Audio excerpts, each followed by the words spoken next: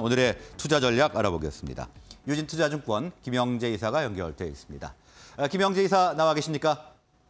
네, 안녕하십니까. 네, 안녕하십니까. 자, 오늘 어떤 이슈 주목하고 계신가요?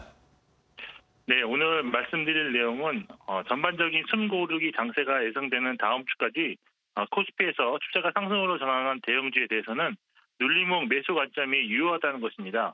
먼저 시장 상황 간략하게 정리해드리면 연초부터 쉬지 않고 달려온 코스피는 2,500선 저항대에 부딪혀 좁은 박스권에서 행보 조정 중인데 현재로서는 기존 어, 연준 조기 피벗 기대감으로는 추가 상승 동력이 약하기 때문에 단기 조정이 불가피한 상황이며 시장도 단기 상승에 따른 피로감으로 악재에 대한 민감도가 높아지고 있는 중입니다. 여기에 2월 남아있는 이벤트도 시장 조정에 빌미를 제공할 재료가 될 수 있는데 어, 중요한 이벤트로는 이번 주 일본 중앙은행 차기 총재 지명 그리고 다음 주에는 미국 1월 소비자 물가지수 발표됩니다.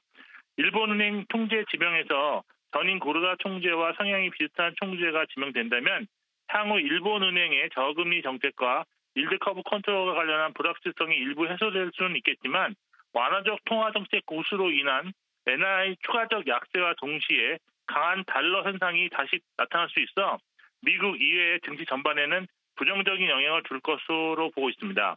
또한 1월달 미국 소비자 물가 지수를 주목하는 이유는 지난해 1월 이 러시아 우크라이나 전쟁 직전 달로서 유가 수준이 잠시 낮아지는 구간이었는데 최근 미국 소매 휘발유 가격이 상승 흐름을 타고 있기 때문에 이번 1월 물가 상승률 하락폭이 예상보다 다시 둔화될 가능성이 있기 때문에 물가 제어 흐름이 약해지는 모습으로 해석될 수 있어 경계심을 가져야 할 것입니다.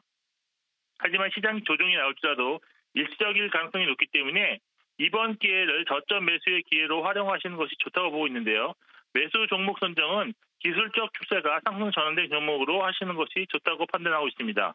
연초 이후 외국인의 지속적인 매수 힘입어 중기 추세가 상승으로 전환되는 대형주가 다수 발생하고 있는데 중기 추세 상승 및 하락 여부는 가중평균 한 10주간과 30주간 이동평균선의 골든크로스, 데드크로스 발생으로 확인할 수 있습니다.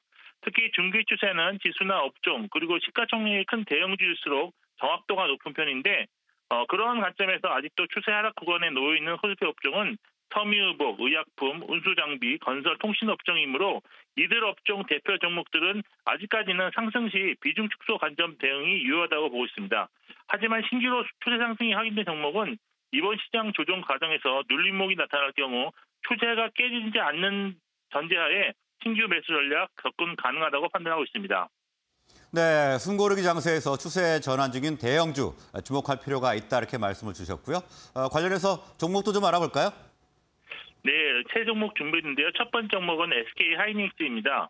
SK 하이닉스는 작년 4월 주간 이동, 이동평균선 간의 데드크로스 발생으로 추세가 하락 전환한 이후 올해 2월 들어 최초로 추세 상승 전환에 성공하였습니다.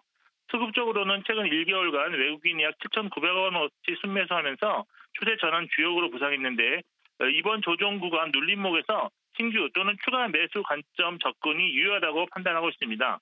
어, 추세가 다시 깨질 수 있는 가격대는 약 8만 6천 원 수준으로 어, 주가가 이 수준을 크게 하회하는 모습이 나오지 않는 전제로 매수 전략이 유효할 것입니다.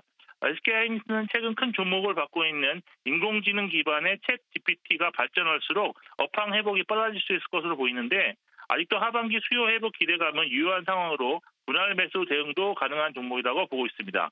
아, 두 번째 종목은 삼성중공업입니다. 삼성중공업은 작년 9월까지 추세가 상승 및 하락을 어, 전환하는 것을 반복하는 종목으로서 이번에 추세가 다시 상승 전환이 확인되고 있습니다. 수급적으로 최근 1개월간 외국인이 710억 순매수에서 추세를 다시 전환시켰다고 보고 있는데 4분기 아, 대규모 적자를 기록했지만 올해는 1분기부터 turnaround 흑자가 가능할 것으로 예상되고 회사 측에 제시한 영업이익 가이던스도 2천억 원인 만큼 올해는 실적 회복이 꾸준히 나올 것으로 기대하고 있습니다. 어, 마지막 종목은 솔루스 첨단 소재로서 주가는 작년 1월 추세 하락 전환 이후 1년 만에 최초로 추세 상승 전환에 성공하였습니다. 수급적으로 최근 1개월간 외국인이 80억 원 순매수했는데 올해는 흑자 전환이 기대되는 동시에 2월과 3월에 있은 미국 IRA 후속 시행령 구체화 및 유럽 원자재법 추진에 솔루스 첨단 소재의 유럽 및 캐나다 공장이 부각되면서 수혜가 예상된다고 할 수 있겠습니다. 네, SK 하이닉스와 삼성중공업, 솔루스 첨단 소재까지 알아봤습니다. 자, 오늘 말씀 여기까지 듣겠습니다. 고맙습니다. 네, 감사합니다.